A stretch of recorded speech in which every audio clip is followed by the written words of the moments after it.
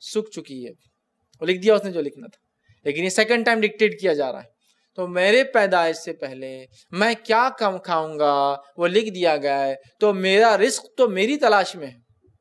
میرا رزق تو میری تلاش میں، صرف میرا کام ہے کہ میں اس کو حاصل کرنے کی کوشش کروں۔ ورنہ وہ تو میری تلاش کر رہا ہے۔ تو وہ جو میں پیدا ہوا، میرا رزق میرے ساتھ آئیں گا۔ تو وہ جو عورت جس سے میں نکاح کروں گا، وہ بھی تو اپنا رزق لکھا کر لائی ہے۔ جو بچے پیدا ہوں گے، وہ بھی تو اپنا رزق لکھا کر لائے ہیں۔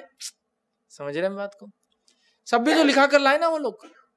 تو اسی طرح یاد رکھیے وسط ہوتی ہے، یاد رکھیے۔ اور اللہ رب العزت قرآن نے فرماتا ہے، سورہ نور، سورہ نمبر چوبیس، آیت نمبر بتیس میں اللہ نے فرمایا اور کہا و ان کے العیام امن کم و وَأَنْكِهُ الْأَيَامَ مِنْكُمْ وَالصَّالِحِينَ مِنْ عِبَادِكُمْ وَإِمَائِكُمْ إِنْ يَكُونُوا فُقْرَاءَ يُغْنِهِمُ اللَّهُ مِنْ فَضْلِهِ وَاللَّهُ وَاسِعٌ عَلِيمٌ۔ سنیے تم میں سے جو لوگ بغیر نکاح کے ہو، ان کے نکاح کر دیا کرو، اور ان لونڈی غلاموں کے بھی جو نیک و صالح ہو، اگر وہ محتاج ہیں تو اللہ ان کو اپنے فضل سے مالدار بنا دے گا۔ اللہ بڑی وسط والا اور علم رکھنے والا ہے۔ تو اللہ فرما رہا اگر وہ فقیر ہے، ان یکون فقرا یغنیہم اللہ من فضلی۔ اگر وہ فقیر ہے، تو اللہ اپنے فضل سے ان کو غنی کر دیں گا۔ اگر وہ غلام بھی ہے، نیک ہے، تو شادی کر دو۔ اگر غریب ہے، تو اللہ تعالیٰ مال دے دیں گا۔ تو گویا اگر ایک انسان قرآن و سنت کے مطابق نکاح کرتا ہے، تو مالی وسط بھی ملتی ہے۔ غریب ہے، تو مالدار بن جاتا ہے۔